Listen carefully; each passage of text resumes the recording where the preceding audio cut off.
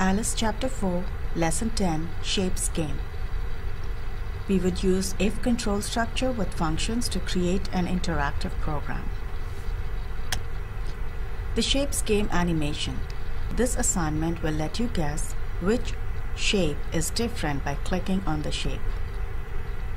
If you click on the right shape, the creature, the Kurupira, should do something and let you know you're right.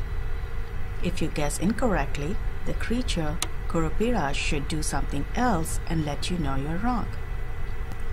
So let's watch this animation to see what your shapes game animation would look like.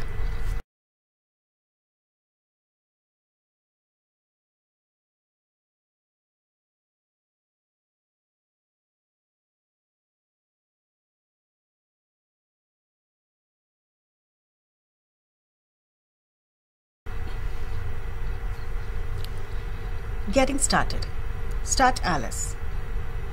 Open the Chapter 4, Lesson 10, Shapes Game program from the backpack. Save the file as Chapter 4, Lesson 10, your name in your student account.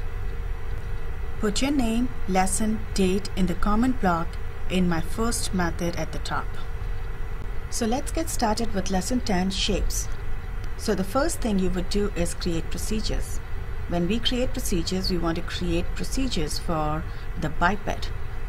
So we would go to the class menu and go to biped and then add biped procedure. I'm going to call it as correct answer and press OK. I need to write code for correct answer. Now Kurupira should let us know that the answer is correct. So the first thing we want to do is use the say statement. I'm going to drag and drop say and select custom text string and type in you are correct. Press OK. Now we want him to do some action. So we're going to first make his head nod so we're going to select this and select get head. Now we're going to use the turn statement to make his head turn forward. And then again we want to use the turn statement to make his head turn backward. So this would make a knot. Now we can have this all at the same time. Head turn forward, head turn backward cannot be at the same time. So we're going to use do in order and put these two inside it. Now we want the say and nod to happen at the same time. So I'm going to drag and drop do together and put these instructions inside. Now that he's super excited, he wants to jump.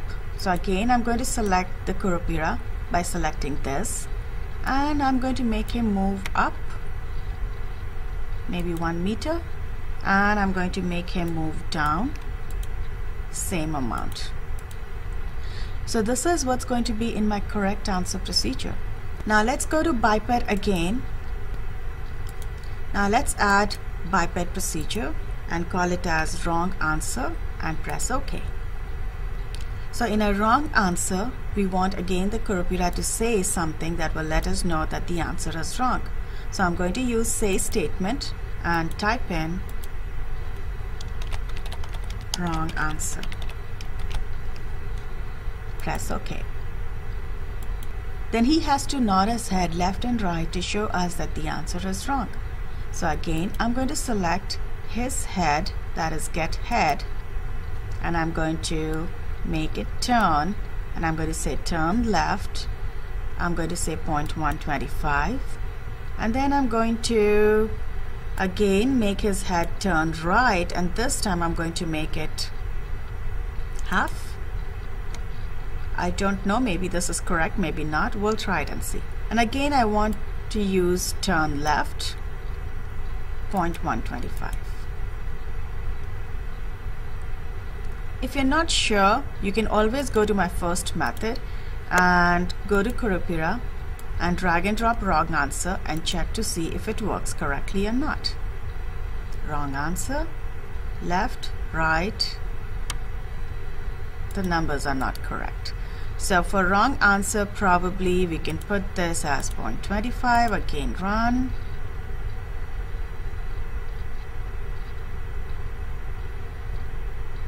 That is better. So now that we know our wrong answer procedure is correct, I'm going to just delete it from here because that was just my testing. So now we have our two procedures, correct answer and wrong answer.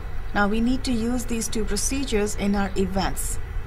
So I'm going to go to my event listeners. I'm going to create an event and let's use the mouse event, mouse event. I'm going to drag and drop my if control structure and I'm going to select the relational s thing.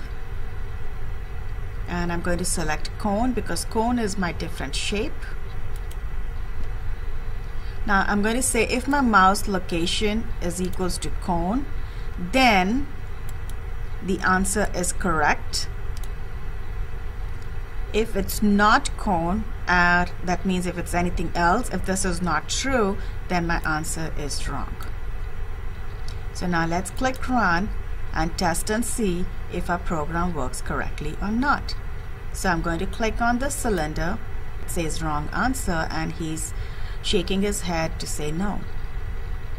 If I click on yellow cylinder, again wrong answer. And if I click on the cone, the answer is correct and he's jumping.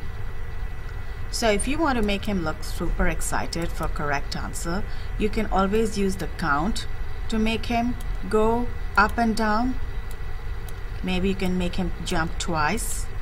Now if you want him to nod his head again, you can use count twice and you could put do in order in here. So now when I click run, I select cone, he's going to nod his head twice and he's going to jump twice.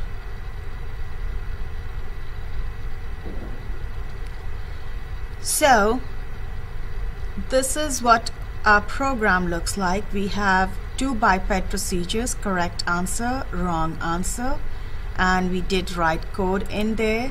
Now don't forget to add a comment at the top of your procedure that tells us uh, actions for correct answer.